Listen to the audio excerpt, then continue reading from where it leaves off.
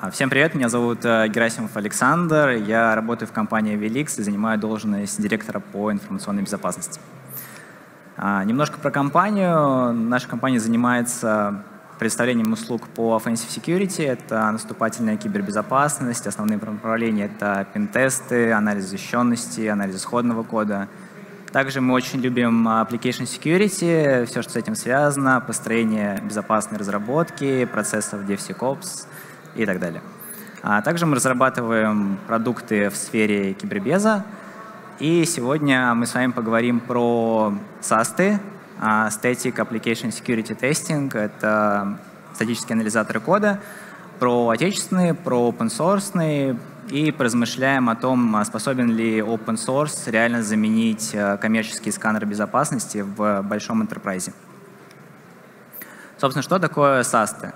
SAST — это, собственно, сканеры кода, основной целью которой является без запуска приложения определить какие-то недостатки в коде, либо уязвимости, либо проверить несоответствие каких-то стандартов, которые вы приняли в компании. Да, ну, допустим, вы говорите, что мы хотим делать вместо табуляции там, 4 пробела, вместо принта в питоне делать э, логинг. Вот, и SAST способны такие штуки выявлять. А, собственно, что мы хотим решить с помощью SAST? Это поиск секретов в коде, различные токены, ключи, пароли, какие-то небезопасные функции, которые можно выявить по паттернам, уязвимости, например, слабую криптографию и, собственно, как раз несоответствие кода к каким-то политикам, которые вы приняли в компании. А, собственно, есть э, коммерческие да, сканеры, есть open source. А, у коммерческих очевидно, что основным преимуществом является а, большая база правил, по которым они проверяют код.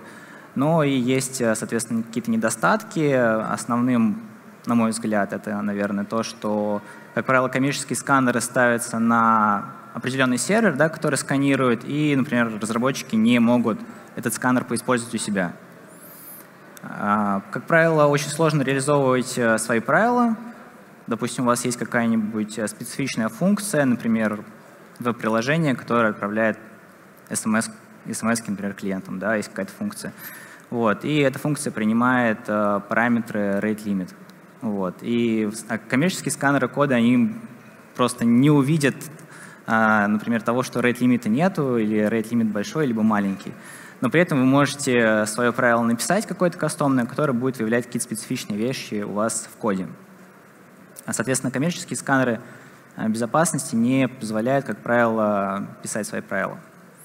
А, чаще всего а, не поддерживается интеграция с IDE, со средой разработки, и, соответственно, для зарубежных сканеров основным недостатком это то, что они могут, во-первых, попасть по санкции, либо просто отказаться работать в России, что сейчас актуально.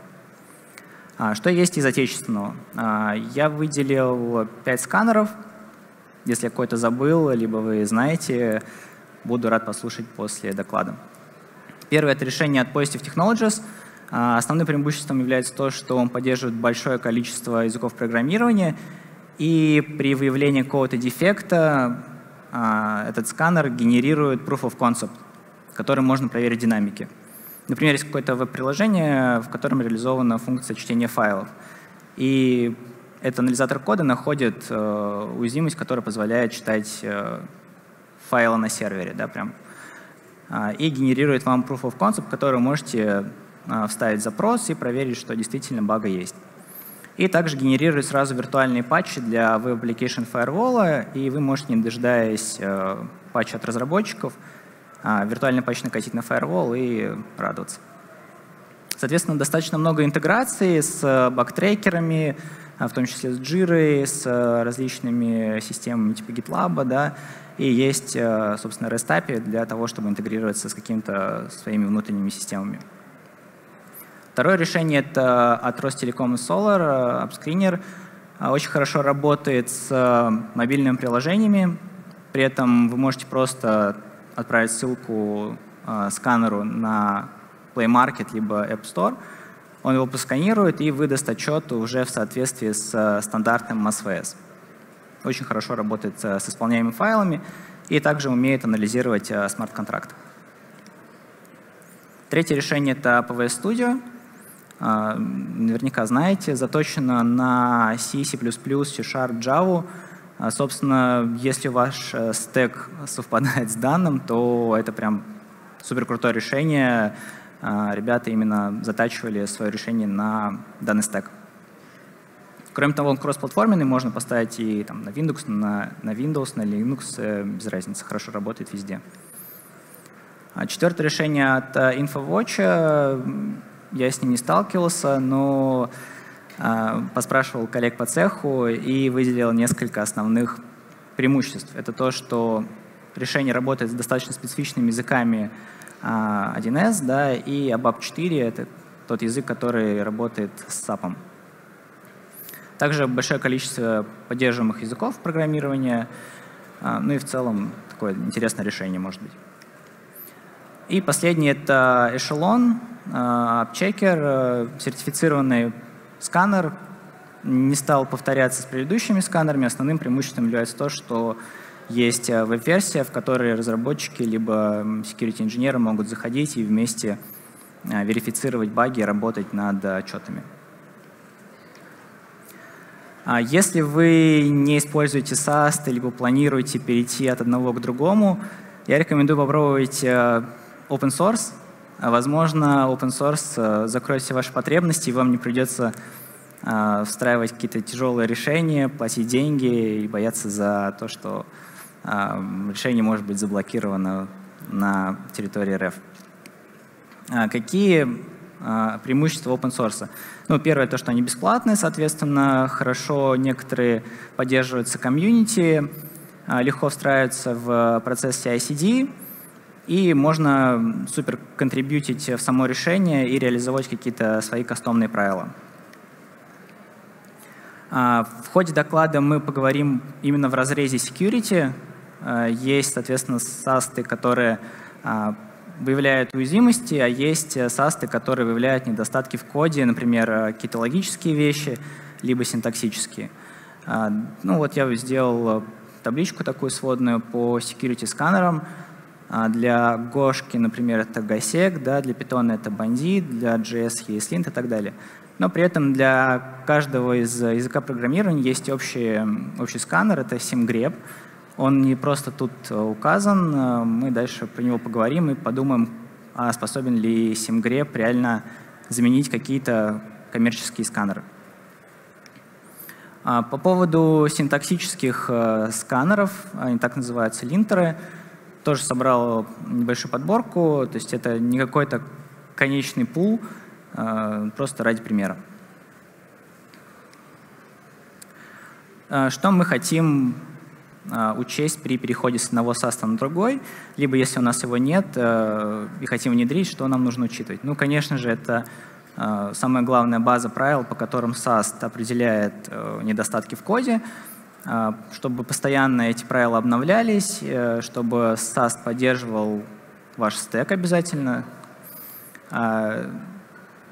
поддерживал какую-то интеграцию с например, IDE с, э, не знаю, там, GitLab, Jenkins, еще с чем-нибудь, с чем вы работаете, и предоставлял отчеты в нормальном виде с рекомендациями, э, с описанием и отчеты в разных форматах, например, JSON, чтобы вы могли там, какую-то систему загнать, распарсить отчет.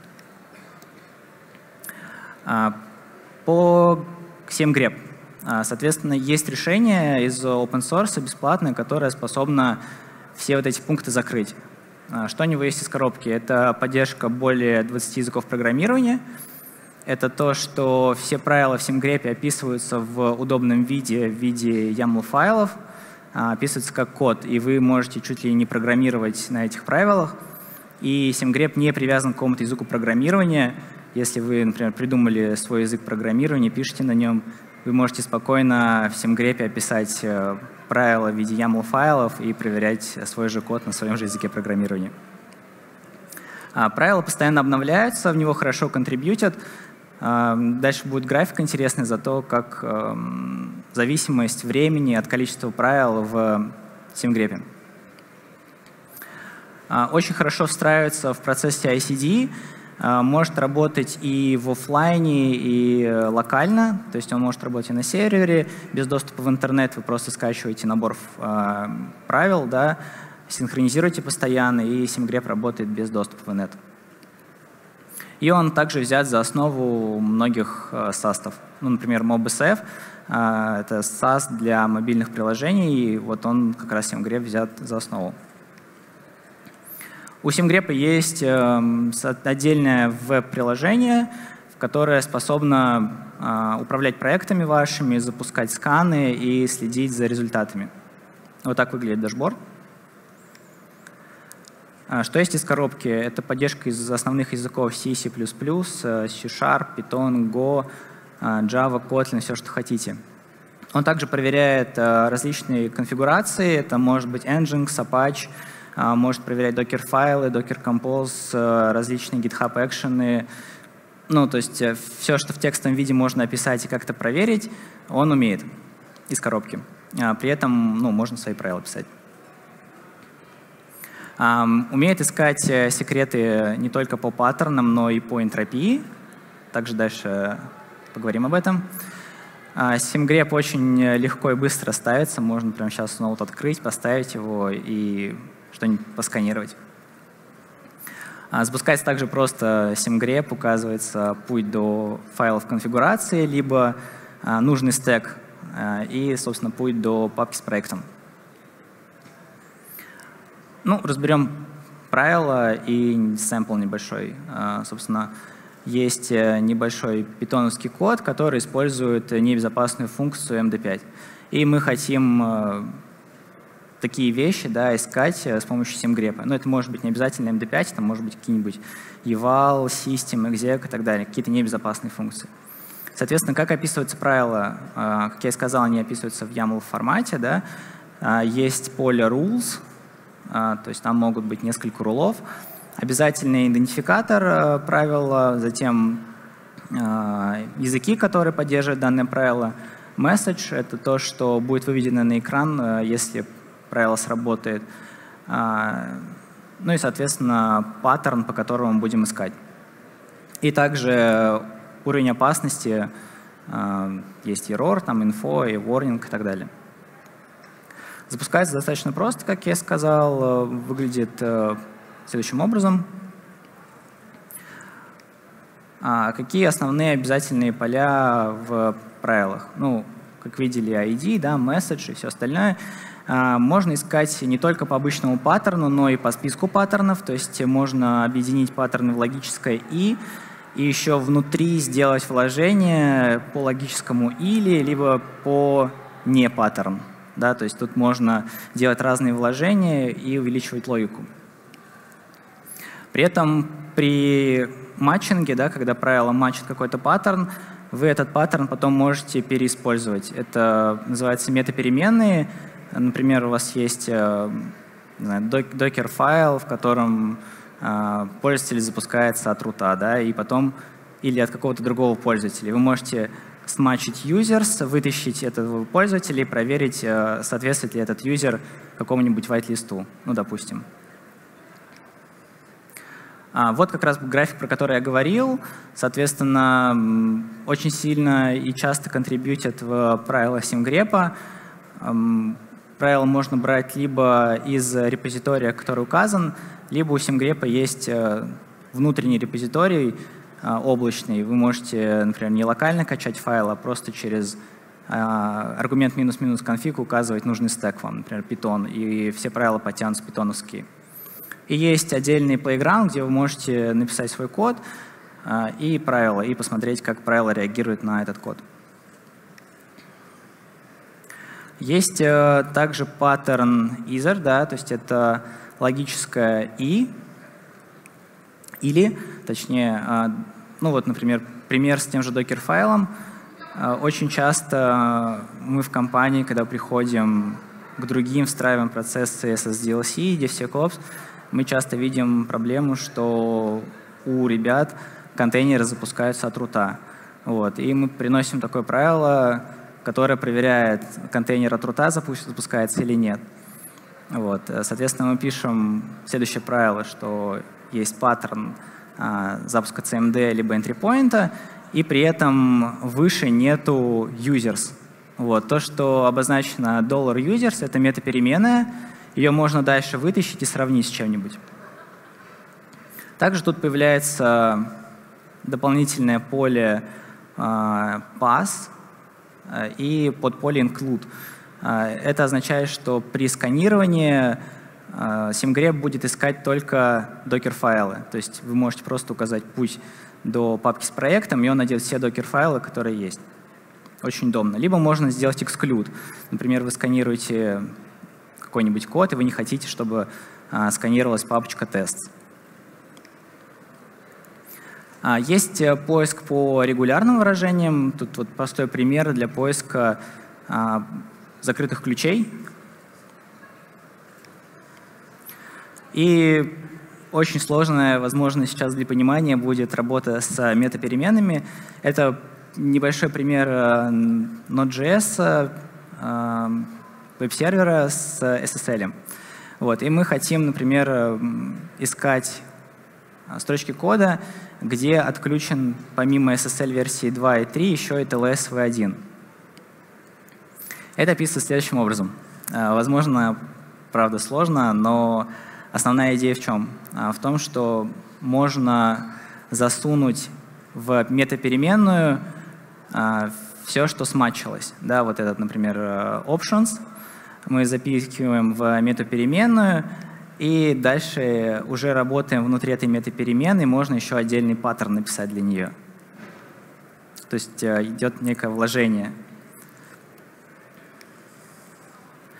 А метапеременные можно сравнивать между собой. Допустим, у вас есть э, питоновский веб-сервер, который запускается методом run с аргументом а, port и с аргументом environment. И мы хотим, чтобы для продакшн среды запускался только с 443 портом в приложении. Ну, соответственно, делаем правило, делаем метапеременную arc, и потом ее можем сравнить э, с каким-то значением. Ну, тут, тут, например, 443. Соответственно, при сканировании мы будем проверять, что есть продакшн, да, э, и он запускается только с 443. А что еще можно сделать? Эм, как я говорил, можно искать секреты, да, токены какие-нибудь, пароли и так далее. А, но при этом, а что делать, если секреты не подаются каким-то регулярным выражением, паттерном и так далее? Можно искать по энтропии. Да, очень простое правило. У SimGrep есть э, в бета-версии сейчас находится а, анализатор э, энтропии, да, и он может искать какие-то такие специфичные вещи. Допустим, у вас какая-нибудь есть переменная токен равно и там какой-нибудь что-то подобное MD5, да, хэш-функции. И вот он такой, такие штуки может найти. А что еще можно добавить э, к полезной нагрузке к правилам? Это поле fix, очень удобная штука э, для автофикса. Допустим, у вас в компании принято вместо принта в питоне использовать логинг, и приходит, например, какой-нибудь джун и не знаю, пишет код и делает принт. Вот, пушит это в GitLab, и SimGrep это сканирует, находит несоответствие, и вы говорите, что я хочу сделать автофикс, вместо принта логинг поставить. Вот, и, соответственно, с помощью этого можно сделать автоматический pull request. А, SimGrep это заменит и сделает э, pull request э, для исправления. Можно добавить какой-то полезной нагрузки э, в метадату. Например, вы сканируете код с целью выявления каких-то уязвимостей и при этом хотите написать э, рекомендации по устранению, либо вставить туда идентификатор CVE, какой-нибудь POC, еще что-нибудь. Вот, это все туда можно засунуть, и, соответственно, при сканировании SimGrep выдаст отчет, в котором есть все эти метаданные. Ну и поле а, PAS, да, мы уже поговорили про нее, можно инклюдить то, что вы хотите сканировать, и эксклюдить то, что не хотите для данного правила. Как работает автоисправление? А, очень просто, пишется паттерн, э, делается метапеременные, и затем в эти метапеременные в поле fix э, вы пишете просто как исправить. Ну, тут, например, э, вместо обращения в dictionary по value мы делаем обращение в dictionary по методу get да, в питоне. Как это работает? Запускается SimGrep с опцией минус-минус автофикс, и он сразу же, собственно, исправляет в файле то, что было замачено. А, метадата. Ну, соответственно, то, что я как раз говорил, можно добавить какие-то пользовательские данные, все, что вы хотите, для того, чтобы использовать где-то еще. Например, в системе управления уязвимостями вы хотите вводить что-то полезное для разработчиков или для security-инженеров. Использование PAS тоже проговорили. Собственно, инклюдить можно, э, эксклюдить по wildcard, без разницы, можно докер-файлы, например, только, или docker-compose файлы. А что делать дальше с SimGrep? Окей, мы просканировали, получили какие-то отчеты, а что дальше? А, хотим, например, его поиспользовать э, в процессе ICD своем. А, окей, Э, берем сначала готовые правила, которые SimGrep предоставляет нам, сканируем, при этом сканируем в режиме мониторинга так, чтобы джоба не отваливалась у нас. Потому что на первых порах будет очень много false positive, которые необходимо править, а, либо вносить изменения в правила. Затем э, можно брать какие-то участки кода, которые у вас постоянно повторяются, вы видите недостатки в них, или разработчики повторяют какие-то типичные ошибки, вы их можете описать в виде YAML файлов, да, создать свои правила и использовать их. А, ну, соответственно, встраиваем э, SimGrep э, в процессе ICD. А, что делаем еще? Храним все результаты в какой-то единой платформе. А, например, есть замечательная платформа от Avast по Defect Dojo. Туда можно складывать все дефекты, строить аналитику, закрывать либо открывать э, баги в ручном режиме, либо в автоматическом.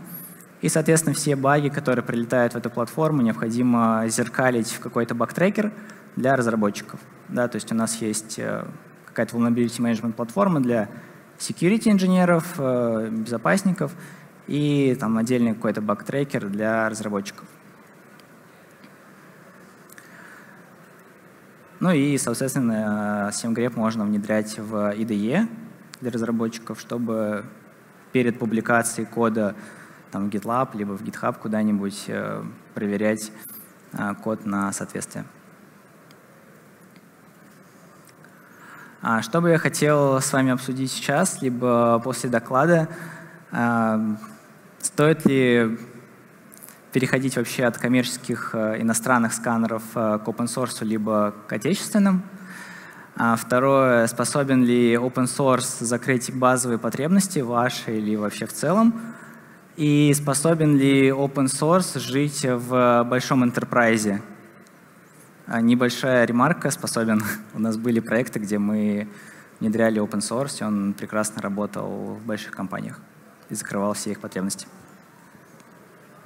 На этом все. Спасибо. Да, все. А, спасибо большое. А, давайте немножко подискутируем. Окей, поехали из зала сразу, с первого ряда. Александр, ага. спасибо большое за доклад. Ультра полезно. Не знаю, что так мало народу пришло. У меня такой вопрос. Тут сегодня рассказывали про SCA-системы, это которые ну, библиотеки да, у нас анализируют. А есть ли смысл взять и натравить вот какой-нибудь такой инструмент на свои библиотеки? Вообще использует ли кто-нибудь? Может, расскажете? А, ну да, да, есть, э, собственно, SCA, есть SAST, э, немножко разные штуки, да, SCA там работает по открытой базе уязвимостей, смотрит там по версиям используемых библиотек. Но если у вас есть, э, собственно, свои библиотеки, да, написанные вами, то, ну, наверное, SCA тут не поможет, а поможет как раз э, статический анализатор кода, и как раз очень удобно писать какие-то, а, ну, свои кастомные правила, да, если вы знаете какие-то паттерны, которые могут быть небезопасны, очень хорошо это работает. При этом, э, почему я говорю про SimGrep, не про какой-нибудь там, не знаю, Sonar или что-нибудь еще, SimGrep а очень легковесный, и он очень быстро работает. То есть по сравнению с другими open-source тулами, SimGrep просто пулей работает. Очень быстро разбирает большие данные. Спасибо. Так, да. А, Матвей, четвертый ряд. Спасибо за доклад, очень интересно. А могли бы вы поделиться своим опытом с точки зрения эксплуатации ну, я догадываюсь, конечно, в общих чертах, но вот именно ваш опыт интересен. С точки зрения эксплуатации, какие есть отличия между бесплатными open source решениями, в случае именно с SAST, да, и, э, понятно, и, и теми, теми, с которых мы переходим? А, еще раз, то есть разница между open source платным и open source бесплатным? В или... принципе, платными решениями, да, которые сейчас часто много где используются. И вот open source типа того же грепа. Именно с точки зрения эксплуатации этого решения большой компании. Да, с точки зрения эксплуатации, конечно, чтобы перейти э, с коммерческого на open source, это достаточно больно будет, потому что э, все привыкли к красивой аналитике, к интерфейсу, где ты заходишь в интерфейс, тебе все понятно, ты можешь работать э, с несколькими людьми одновременно, да, там, разбирать баги и при этом ты получаешь open source, который это не умеет, и тебе нужно как бы наверх очень много всего накинуть, чтобы работать с этим. Это достаточно долго и больно, да.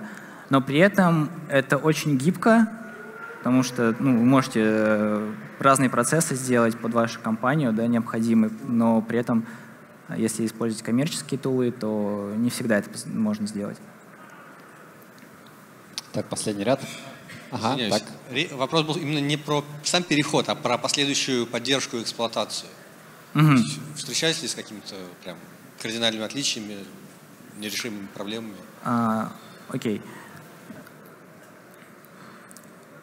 Коммерческие а, все сканеры, да, тулы, что в них при эксплуатации хорошо?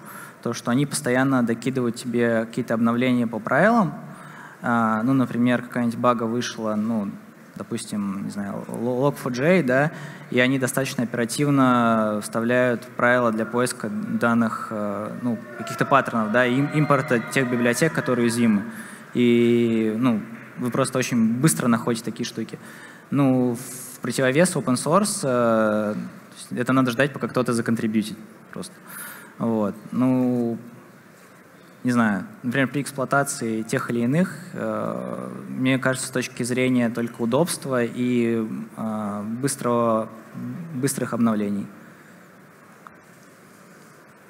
Так, да, последний ряд. Ага, давай. Добрый день. Э, спасибо большое за доклад. Вот у меня к вашему первому вопросу, да, вы просили, так сказать, упомянуть, а есть ли еще какие-то стат-анализаторы? Вот мы у себя внедрили производство Института системного программирования RAN, это SWACE, называется такой статический анализатор. И, ну, у них там много разного инструментария, там для фазинга, ну, в общем, можно как бы почитать, познакомиться, ну и признаться, очень довольны. То есть вот из тех пяти, которые вы показывали, мы регулярно пользовались.